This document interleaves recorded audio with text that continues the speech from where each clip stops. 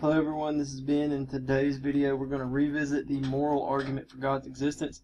The reason why we're doing that is because I think I may have stumbled across a, a little bit better way to put it and uh, I might make this a, a, a better made video in the future but I just want to go ahead and make this and kind of get the thoughts together.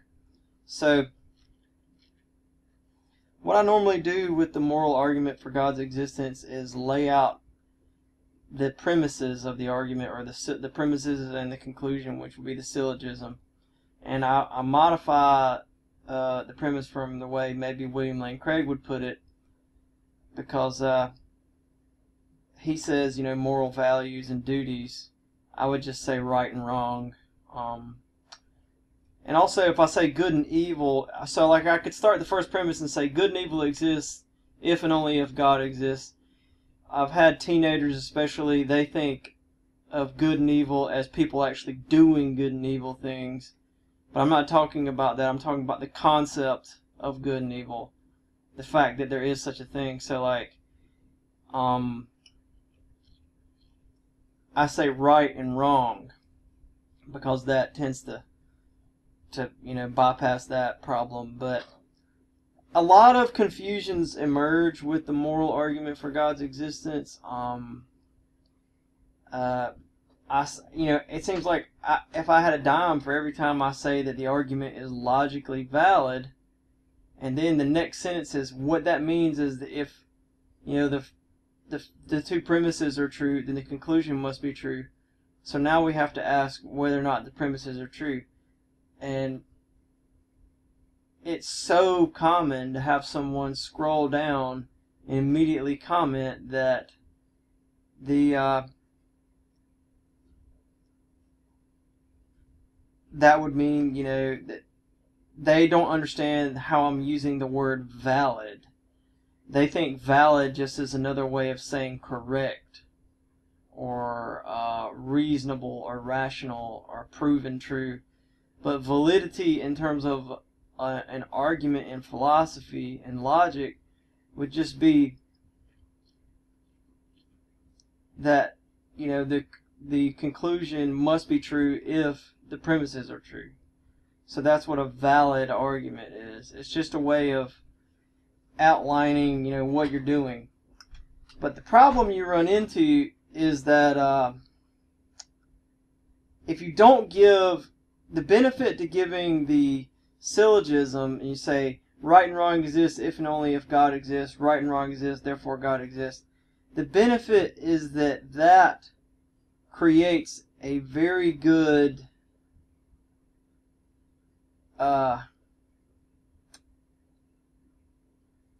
framework so that people will begin to see like okay we we not it's like a checklist and so it doesn't allow you know it gives it gives guidance and it keeps the keeps the concepts from just wandering all over the place. And we understand what we're here to do you know? So uh, there's another way of putting it where you could say if there is no moral law there is no moral lawgiver. There is a moral law therefore there's a moral lawgiver. So that's that's like uh, that's Ravi Zacharias' terminology is uh, he said he uses the term moral lawgiver. Um, now he uses the term. I think he tends to say there's an absolute moral law. Now the benefit to the well, I always struggled with that, and in fact, whenever I once upon a time, whenever I heard Ravi make that argument, I always thought it was a bad argument because I did not see why if there's a moral law, there has to be a moral lawgiver. I just did not understand like why that has to be. Sure, it can be, but it just seemed like the the laws could exist. The moral laws could just exist without a moral lawgiver. And uh, I came to understand the is ought distinction that there's a fundamental difference between a statement about how things are and a statement about how things ought to be. But it's one of those things that it, part of the reason I make these videos a lot of time is because I don't like the way the, Christian apologists always explain this stuff. They always leave giant loopholes or the concept is not really communicated.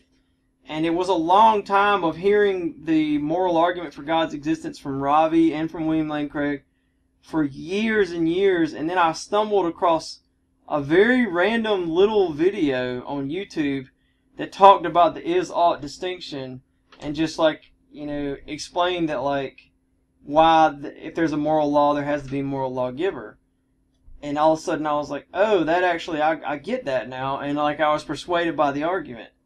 Um, and I try very hard to keep from giving people ways out of what I'm saying, and you know, as I understand it, the bread and butter of philosophy is to really make an undeniable argument. That's what your goal is, and I see a lot of the uh, proofs for God, you know, whether it's the moral argument or something else, they're giving all sorts of like ways out. Um, it might be that the target audience is not me or people who think like me, and so the ways out aren't really ways out. But but I do, but I think are like me, and I think there's other people who think like me, and so uh, those people, you know, maybe I'm just called to talk to those people who think like me. You know, so like maybe you know maybe these guys that I'm listening to are they they just talk to professors and they just assume certain things. Professors just know certain things, or or they just understand professors won't ever think of that that thing. You know. Um. So with the moral argument for God's existence, I think really it could be summed up as follows you start out by just making the case that there is a moral law. Because what I've found is that teenagers and young people tend to believe that morality is completely subjective. And uh, the reason they think that is because of a false dilemma in the way that they think. And I've, I've got some experience with this with, you know, different sets of teenagers from different parts of the state of Georgia where I live, and they tend to always say the same thing. I've read articles online that say that surveys indicate that young people tend to they don't believe that there are moral facts, only moral opinions. So that an idea about good and evil is just one person's opinion, and it's no it's no more haha valid ha it's no more true or factual than someone else's. So uh, that's the first thing you got to deal with. So the the first thing I would just say is establish that there's a moral law, that there's such a thing as good and evil. Most people will agree with you that there's such thing as good and evil, and you can just give them an example like, do you think it's okay? You think it's morally superior to like love your neighbor or eat your neighbor? You know, you can give them some extreme example, and most of the time they're going to just see that like you know, oh yeah, there's a you know, there's such a thing as good and evil. Most people believe in that, but you do. It's more common with teenagers to not believe in that, and it's across the board, male and female. They both just don't believe in it. And it took me a while to figure out where they're coming from. They they have a false dilemma in the way that they're thinking, and so that's an indication of it being an actual intellectual fallacy. Like this is they don't get it. It's not like it's not like special pleading or something where a person just has an agenda. But this is a false dilemma. So a false dilemma would be like if I asked you, are you a fascist or a communist? And then stuck the microphone in your face. And so, or I said, you know, an extreme example would be like, click like and share if you love Jesus. Keep scrolling if you're going to hell with Satan. You know, um, so what people do is, uh, they give you two choices, and there's actually more than two choices. Um, so they're giving you a dilemma where you don't like either of the choices, but they made one choice worse than the other one, so that you'll you'll take the other one. When in reality, there's there's more than two choices. So the false dilemma here is that they essentially they're saying we know everything about good and evil and morality, or we know nothing about good and evil and morality. We either know everything or we know nothing. And as soon as I lay that out, it, it immediately becomes clear what I'm saying. It's like, oh yeah, that's ridiculous. We could know something without knowing everything. Okay? And so for us to know that there is an objective, you know, there is a moral law, all we have to do is know something. We don't have to know everything to know that there's a something to know. So, in other words, our concept of morality can be progressive, it can be improving. But that was, that's really the, the primary way that people don't get it. Um, and, and the, the interesting thing is, uh, I even had, I had one teenage girl, a 15 year old girl, say say it to me like that recently, and I was like, oh, that's what they're thinking. And I kind of been thinking along those lines, but what she said was, you know, morality is subjective because mankind's concept of perfection is always changing. And I was like, oh, I think I see what she's saying. She's saying, yeah, we either know nothing or we know everything. So it's a false dilemma. So, in other words, all I do is introduce a third option, and it immediately, most people will, will immediately recognize that that third option is correct. I didn't technically prove that the third option is the correct option. Rather, I just what I did prove is that it's possible because really all they're the way they're thinking, they're just not considering it. Um, so as soon as you just introduce it, it immediately resolves the dilemma.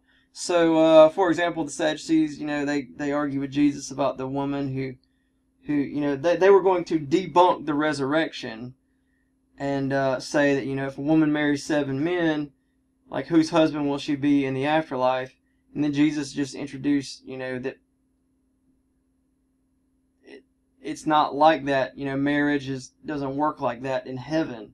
So, uh, debunking a false dilemma is typically more of a defensive exercise because they're trying to prove a point and you're just demonstrating that they didn't prove it. It won't actually prove your point, but that we can get to that later. Most people are ready to accept and recognize that like some things are evil. But there is a tendency toward with everyone to simply think that the skeptical view is the wise view. And so they don't see knowledge as ever wise. That's just common today. Any anytime you can doubt something, you're the, you're the you're the smarty pants. So you're smart for not knowing things today. Um, that that's that's just a general trend you have to deal with. Okay, so uh, and some people, you know, think about apologetics and doing it, and they just get really, uh, they think it's a waste of time. But I did hear something interesting today. The fact of the matter is, a lot of people, for a lot of people, apologetics is a major way that they come to faith in God. And so, there's a tendency, you know, if you're anti-apologetics, there's a tendency from these these Christians who think it's like a waste of time. It's very similar. First of all, they just completely ignore uh, they they're just completely ignorant of all the people who for whom it actually made the difference. Second of all, they probably think that like evangelism without apologetics is super effective. But according to the Bible, most people are not going to make it to heaven. So the the the preaching of the the fundamental story of the gospel isn't that effective either, according to according to Jesus um, according to what he says in the book of Luke about, you know, the wide and the broad gates. But see, the thing is, like, when you say it's a waste of time, it's like, well, people are coming to faith through that. And so that's like, it's very similar to telling me that, like, if I want to go be a missionary to Japan, and like, I'm, I feel called to the Japanese, and I go, and then you tell me that that's a waste of time and that I shouldn't be doing that. I mean, I've had people like tell me that like I should be preaching the gospel and they they set up a false dilemma because all apologetics really would be defending and proving the gospel and so you can't really not share the gospel without but also do apologetics those two you know if you're proving the existence of god well the existence of god is the first component of the gospel you know and if you prove the moral argument then also it it lends weight to mankind's depravity because God would become the ultimate standard. So you're talking about the gospel already. But uh, essentially, it's really kind of rude and hurtful. People people do say that. I mean, I've had people like that thick in their thinking and that thick-headed that they just won't accept it. And I hate to say it, but sometimes it does seem like they just want to justify intellectual laziness. And but the thing is, like, maybe you're not call you don't have that calling to that group of people you know just just because somebody wants to go to japan and and share about jesus don't you shouldn't say that like they're a sinner for doing that or it's wrong and uh because they that's where they're called to go and they will have a ministry there and so if you're called to go to the type of person who for whom apologetics would be effective, then that's your calling. But like, uh, and the, and the other point, and this, I'm, I'm borrowing this from William Lane Craig, but like the other point is like the people who are converted through apologetics tend to be very effective. Like people like C.S. Lewis and Ravi Zacharias and uh, William Lane Craig was an atheist, but he wasn't converted through apologetics. Um, so there's an example for you there. But Ravi Zacharias, it was very important for him.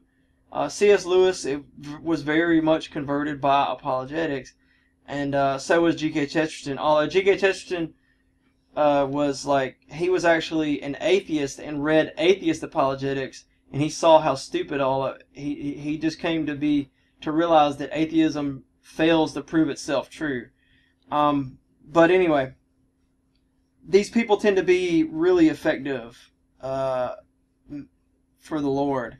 People who are converted through apologetics, um, or for whom it became important, especially people who like were formerly, you know, atheists or something opposed to Christianity when they get converted. Now, back to the point. We can lay out the moral argument. I think a simple framework would just be make a case for morality, you know, and you just deal with that false dilemma. Most people are already going to agree with you that morality exists, but just deal with that false dilemma. You know, um, the simplest thing you do is you start out by just giving an example of something like slavery. And so you could start with slavery. Most people today are right off the bat going to say slavery's evil and it doesn't matter who, you know, what your society thinks. It's evil. Okay, and then slavery is a great example because people's perceptions on slavery has changed greatly. So today we think it's evil, but in the ancient Roman Empire, uh, they had 80 to 90% slaves and they thought it was proof of their glory. Like it made them glorious and it was a reason, you know, they were proud of it.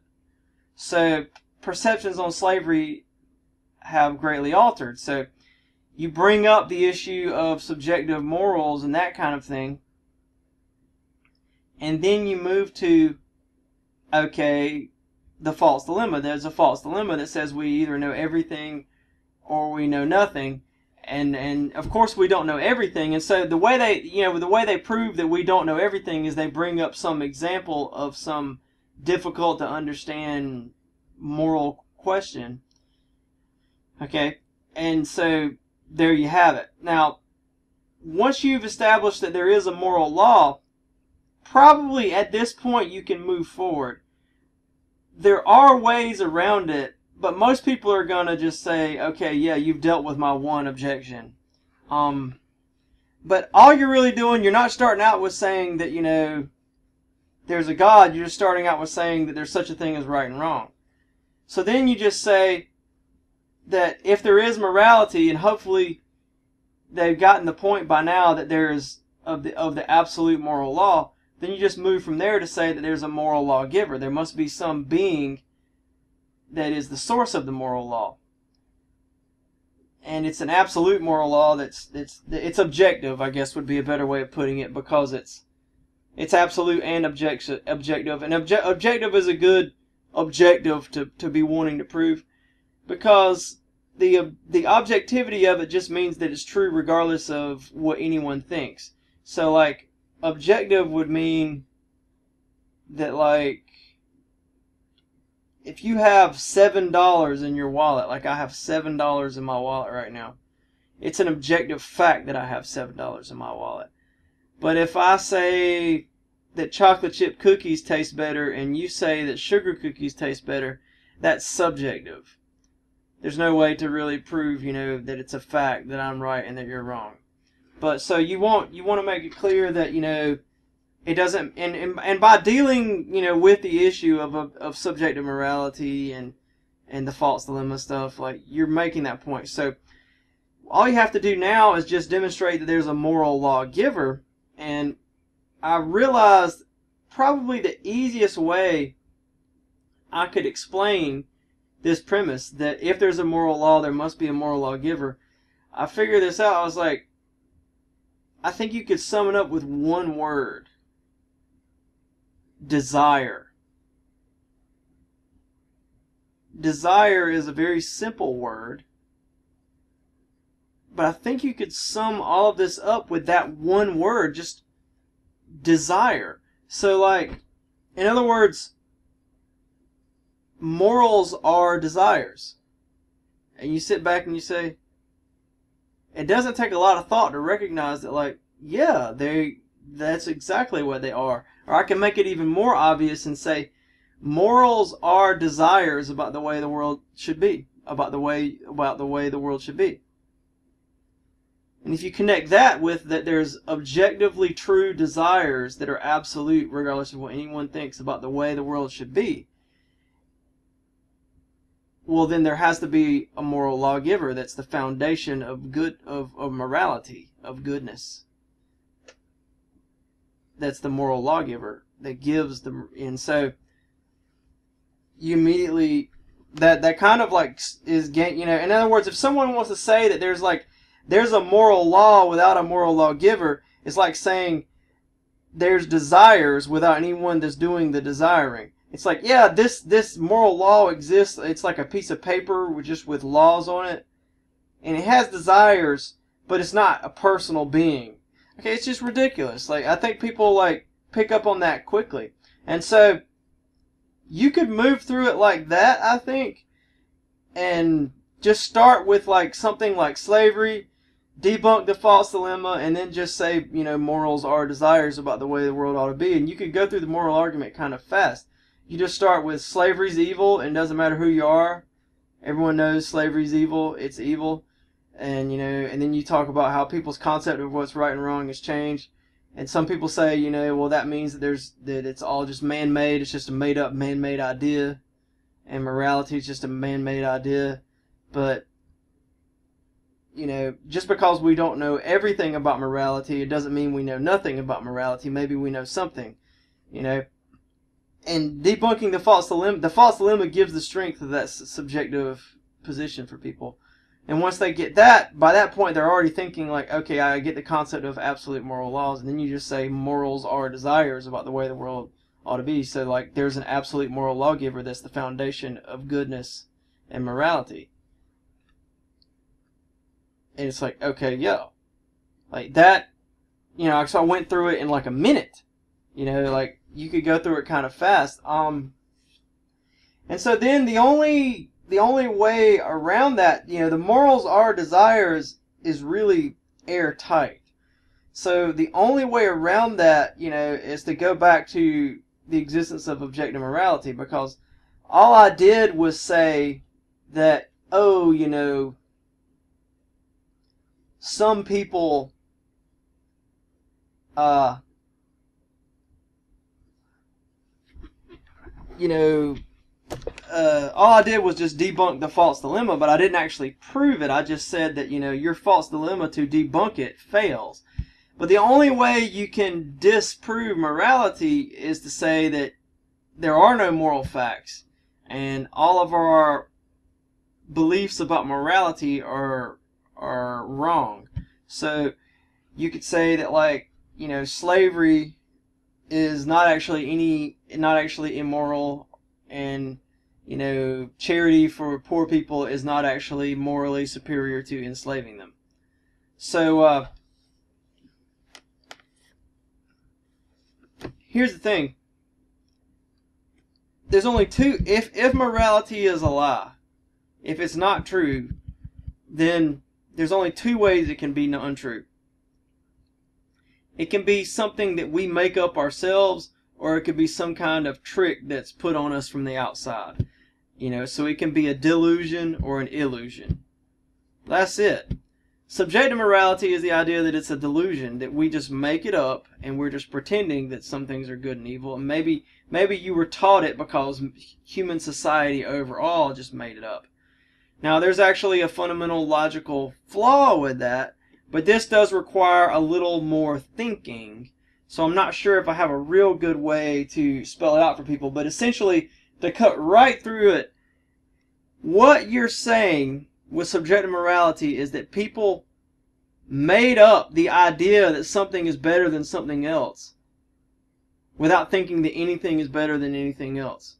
They made up the idea of liking something without actually wanting to do it you know I, maybe i could come up with a better way of saying it but essentially that's that's that's fundamentally that's the problem there. You're saying people you know so in other words like probably a good way to explain this is to say that you know people can delude themselves but they always delude themselves to get something that they already wanted. But what we're talking about is deluding yourself into wanting anything at all. When you uh, when you previously wanted nothing that's ridiculous. You know, so people delude themselves all the time. Like I know a guy, he used to work with me, and he he moved to North Carolina, but and he and uh, in his church, it's a little small uh, church, a little small. I think he said Methodist church. I don't remember what kind of church, but there's a there's a there's a crazy woman at this church, and this crazy woman. Uh, it's a small church, so it, in small churches you do prayer requests and you just you know give the prayer request like in the during the church service, and uh,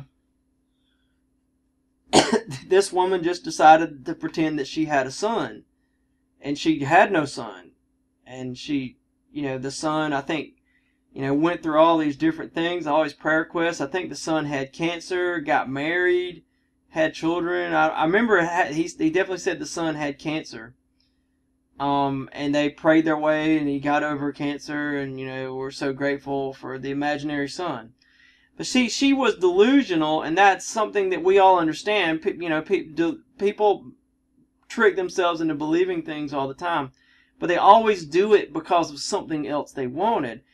But when you're deluding yourself into morality overall, you're tricking yourself into wanting things when you previously didn't want anything. So a person who doesn't want to do anything wants to trick himself into doing things, into wanting things. So it's, it's just irrational um, that there's no way for it to get off the ground. it's just not. It's not an. You, if you make choices they're they're they have to be within a set of logically possible options. So like some choices are cognitively meaningless, you know. But this part of the talk would be for people who are more prone to really want to come back at you.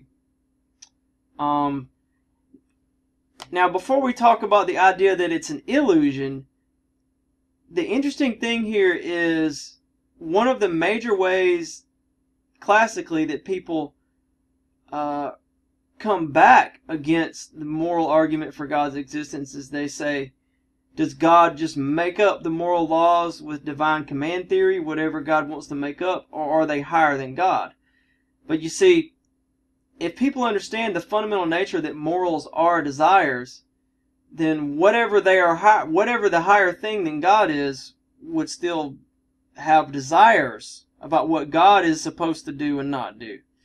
So that just that that's just inescapable. So if you raise the Euthyphro dilemma of, you know, are, are, the morals made up by God, like with the roll of a dice, or are they higher than God?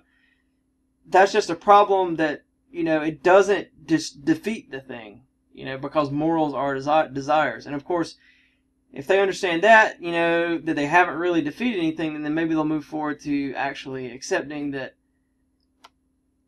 uh, God is the morals because that's that's another false dilemma. You know, are morals higher than God or are they beneath God? No, God is the morals. Okay, so the only other, I guess, uh, recourse people can give is, uh, well, there's two other ones you get, um, apart from all the Christian ones, because the Christians tend to just have a problem with the very idea of apologetics. They don't accept that. And so it's just a good idea just to share with them uh, 1 Peter 3.15 and maybe you know something like Romans 1 where it clearly lays it out. Um, but so here's the thing. You can say that morality is an illusion. Alright? And that we, you know, that there is no such thing as morality, it's an illusion. Okay. Now, the issue with this is, uh,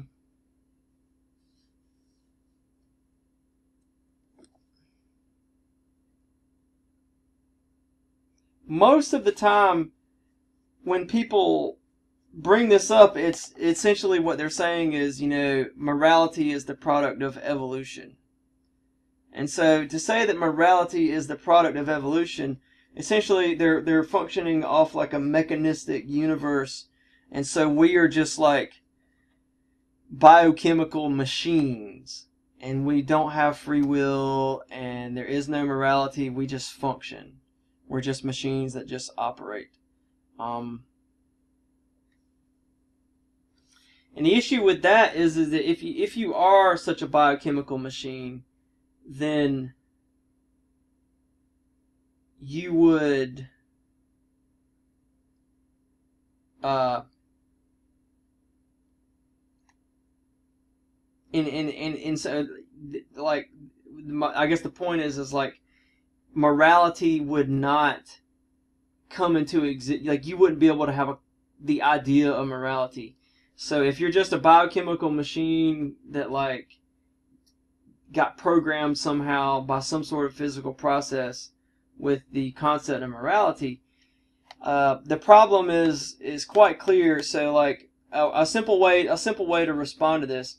Before we get to the simple response, uh, you may be asking like, well, what if I'm not a biochemical machine, but someone, some other being you know, maybe a supernatural being programmed me with morality, but it was still an illusion. It was still not factual. It was just made up. Well, the problem is, is that's really just subjective morality because how did that other being come up with it to make it up?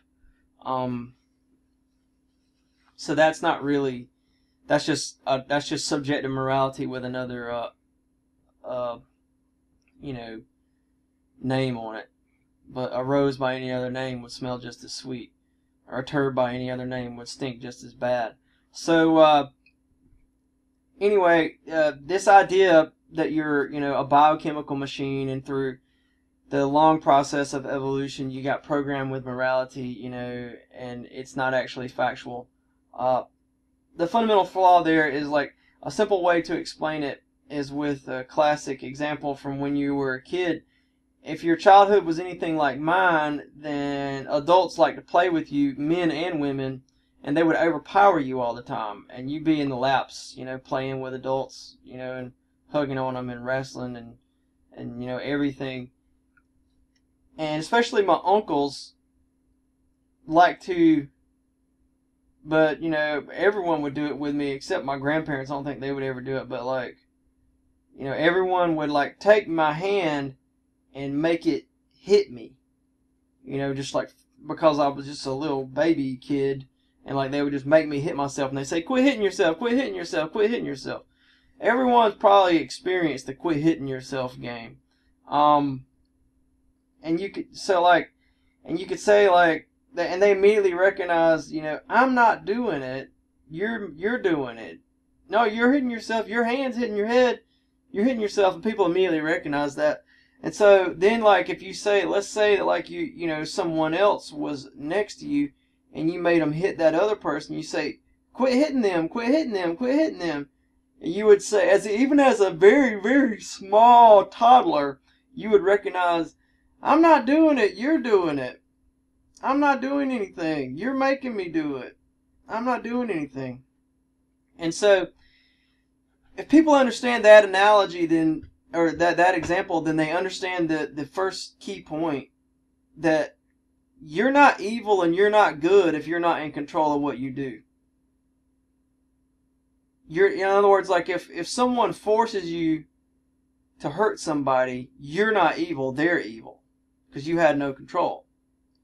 And if and, and then if someone forces you to do something good, then like you're not really the good person they are although they're not really good because they force you to do it but like you get the point. Um and so the goal that we have been programmed with by evolution and programmed is a simplistic way of putting it but essentially a long process of natural selection programmed us with a goal of being good like a machine. So machine was given a goal. You know, computers are given goals all the time. Do this, do that. But the problem is machines are never programmed with morality because morality is a goal of not being programmed, of doing something on your own. And it's logically impossible to program something to not be programmed. Because as soon as it fulfills its programming, it's only doing it because it was programmed to. And if it doesn't fulfill its programming, then it stays programmed. And so it's logically impossible to program a machine with evolution. And anything else is just subject to morality. Either you're making it up, or, or society's making up, or God in the heavens is making it up. And so both of those are logically impossible because you know you can't want to do something before you want to do it or or create the idea of wanting to do things. And then you can't be programmed to not be programmed. And then you know morals are desires and there's such a thing as right and wrong. So really like that alone i think you know you could you could run through it. Just slavery's evil talk about how, and most people are on board right there, and, and, and just talk about how it's evil no matter what anyone thinks, you know, and it's just absolutely objectively evil. Then talk about how, you know, different societies have, you know, you know, valued it, show that that's a false dilemma, you know, just because, you know, ideas on it have changed, you know, just because we know, you know, we know we it's you know just because there's situations in life where our concept of perfection and what's moral moral perfection has changed, it doesn't mean we know nothing. We can still know something without knowing everything. And then just morals are desires about the way the world should be. Boom, there's a moral lawgiver. Someone says morality is subjective, well then that's wanting to create the idea of wanting to do things. You know, you can give an example of a delusion and show how that's someone who was getting something they already wanted. We're talking about people who are creating the idea of wanting to do things, and boom, people immediately recognize like, okay, yeah, that's ridiculous. And then uh, if someone says that you know we were programmed with it and we're just machines and we were programmed through it with like a physical biomechanical process, then you know I think a great example is the quit hitting yourself example and people recognize that like the desire to be good and not be evil is a desire to do things that you weren't forced to do. And then so if evolution programmed you with a goal of being good then evolution programmed you with a goal of not being programmed which is logically impossible because as soon as you're programmed to not be programmed if you fulfill that programming then you're doing what you were programmed to do. But if you don't fulfill that programming then you are you're you're not fulfilling the goal of not being programmed, so you're staying programmed. So it's just that's just airtight. So yeah, and another example I like to give is like a machine like your GPS in your car has goals, but it doesn't have morality. It doesn't value the goals. It, it doesn't place it doesn't see one goal as good and another goal as evil. It just functions according to its programming and if you take a wrong turn it just recalculates it, it, it but it doesn't it doesn't care. It doesn't have values. It doesn't value one goal you know one way or the other. And so if you have values then you're not a machine. Um that's something that's like inescapable but i could see people you know, really, really having a hard time accepting it because it's just so they haven't heard it before. And people are very accustomed to the idea that, you know, certain people are just very accustomed to the idea that morality is created by evolution because they see logic in it that, like, evolution, if it gets going, would create machines, basically animal life, and all all different types of life forms would basically be machines that have goals and they fulfill those goals. The problem is is they cannot have an idea that those goals are good. And, and I mean clearly the idea that that that the goals are good they can't have an idea of morality. You know, and clearly the idea of morality exists. I mean, if it doesn't, I'll just make it up right quick. You know, so you have to say that like when I say morality, it's a meaningless concept. Um, and that's self contradictory too, because you're still referring to morality and you're invoking all sorts of, you know, morality. And so you wind up having to deny that there is such a thing as language, like Wittgenstein, to get around this and say that, you know, words are all meaningless, you know. Um, but that's just self-contradictory too because Wittgenstein wrote long books about how language is meaningless. Um, so you, you're starting to catch the point. And the Euthyphro dilemma, I like how it's it's delivered a fatal blow by the simple fact that like it's got a hole in it, but what doesn't have a hole in it is that morals are desires. So you could sum this up. There's a false dilemma, just because we don't know everything about morality doesn't mean we can't know we know nothing about morality. We can know something. Morals are desires about the way the world should be. People create delusions because they want to. Um but we're creating morality is creating the very idea of wanting to do things even though you don't even though you never want to do anything. And then uh good and evil is doing things on your own, not because someone forced you to do it, and you can't be programmed to not be programmed. Uh, and then slavery is evil. And everyone agrees. So, like, there must be a moral lawgiver. Now, the ramifications of the moral argument for God's existence are so immense because uh,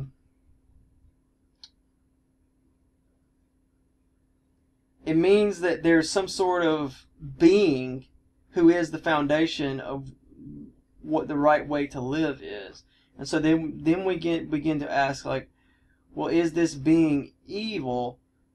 Well, it can't. This being can't be evil or can't ever not abide by its moral law because again, we go back to the Euthyphro dilemma.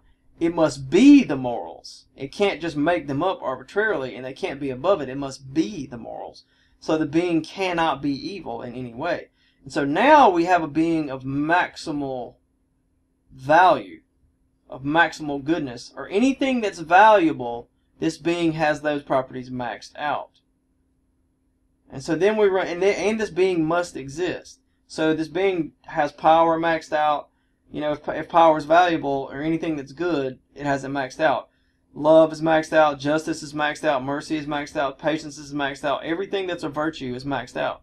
So, like, we have a perfect being, a, a, an omnibenevolent being, a loving being, and so you can you can make an immediate uh, case and say, all right, we're all evil. Does this being care about our choices? The being does care about our choices. Um, so because it has love maxed out. So how much does it love us? Well, it loves us infinitely. It's maxed out. So uh, God, might as well call it God. Um, God, uh, our choices are meaningful and important to God. So therefore, the response to our choices must must be heavy. So, like, in other words, like if we say, you know, if we do something wrong, then God would respond, you know, with something, you know, with something wrong. So, like, in other words, God would never just say, I'm just going to pretend you didn't do that because I don't really care what you did. Okay? And rather, God, what we would do would always be of maximal importance to God. So, like, the idea of hell and punishment, and also Jesus' suffering on the cross is really a product of love. Because God loves us, and therefore our choices carry great weight and meaning to God. They're important. If Jesus didn't have to suffer, and if we didn't go to hell, that would mean that, like, the things we do are not really that important to God. There's a limit to how important they are. He just decides at some point that He just doesn't really care what we do. But if we go to hell forever, or if God's only Son has to die, then there's no limit to how much He cares about our choices. Um, yeah, so like, you see these ramifications flow, and you could say, well, like, well, how strict is God with us? I mean, you know, like, uh, the Muslims' view of God is that, like, you know, God's standards of righteousness are not that high. But again, you could say, well, like, how high would God's standards of righteousness be? They have to be maxed out. God would be like so like God would take every single there would be you know if you could imagine if there's any way they could be higher and stricter that's where he'd be. So and then but also god would want to forgive us because god's loving and generous and you know those are virtues. But how forgiving is god? Well god's forgiveness is maxed out. So the muslim concept of god is a good you know comparison because the muslim god is willing to forgive to a point, but he also only his standards of righteousness are you know only to a point. It, he doesn't require infinite perfection, but if you go too far, he won't forgive you. And so the Christian God, you know, requires even one little sin, you're going to hell and you need Jesus for your sins. But no matter how bad you are, it's the same thing. Like, you can be forgiven. So, you know, the Muslim God, you know, if you sink too low, he won't forgive you in it, but like he doesn't really hold you to a very high standard either. You know, he's not really, you know, he's going to let you slide on a bunch of stuff. Um So anyway, you can begin to you can begin to develop some important theological points about this God um, the problem with the moral argument for God's existence is is I think oftentimes the other than the ways people slip out of it is just uh, these theological points because uh, the ramifications are immense. Um, sometimes what people come at you with is the classic you didn't prove everything there is to know about Christianity. You know, uh, uh, that's what people, you know, they want to know, like, well, can you prove Jesus? That Jesus died on the cross for our sins? And it's like, well, I think we're well on our way to Jesus if we, you know, if you understand the, the theological ramifications of this. We're well on our way. And, you know, so sometimes you get Christians saying this, I think because, like, they want to, they want to really know. Um, but that the, the question of Jesus is just we have to. It's not it's not proven the same way. Um, God would be a fundamental component of reality. Jesus would be more specific, the specific person that you have an internal relationship with, and so it's through the Holy Spirit, and then you can give historical evidence. But anyway, I think that sums up what I was wanting to do with this video. I, I'm just thinking that there's a way to re work the moral argument for God's existence that just makes it a lot harder to deny. I'm actually fascinated to think of like, oh, I wonder what kind of escapes people are going to give. I've noticed in different videos where I give different arguments, you hear the same uh, rehashed, trotted out uh, responses, or but what I've done with the moral argument in two occasions in two videos, I found that people, if I if I carefully think about like how people respond to it, then what I do is I get people who like can't say the same old same old stuff, and oftentimes just say you're dumb. Except, of course, for the people who don't actually watch the video and just assume what I said. You know, those don't count as like anyone. I mean, like I can't make the video effective enough for those people. Um, but anyway, unless I make it like deceptively titled or seductive, you know, in its in its in, its titling, which is going to be hard, you know, because the concept is provocative, and so to make it seduce somebody away, like, you know, I'd have basically have to just, you know, like I saw I saw an argument from this YouTube channel called Brain Games or something, Braincraft or something, and he was like, "Can you solve this riddle?" And it was like, and there was some pretty woman on there, and he was like, "Can you solve this riddle, pretty lady?" Right? And then like you click on it, and it's just the stupid trolley problem, and, and it's trying to argue that in defense of uh, uh,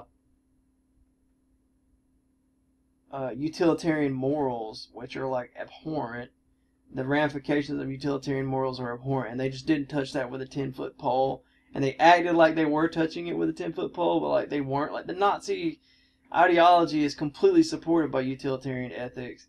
And then, like, they tried to answer all the questions they raised with neuroscience and trying to understand the human brain, and it's like, well, that avoids the whole thing. Like, if it's just a matter of how our brains happen to function, we could just you know, well, what if some creatures from another planet had different brains and like, and their morality from their brains was different? Well, then, like, who are we to say that they're wrong? Because like your whole basis for everything is just how the brain functions, you know. And then, like, what if we restructure our brains and work a different way? Like, oh, it's just terrible. It was just terrible. I like, I couldn't believe that someone actually put this much money and time into making this video and it was just utter nonsense. But anyway, there you have it. Bye.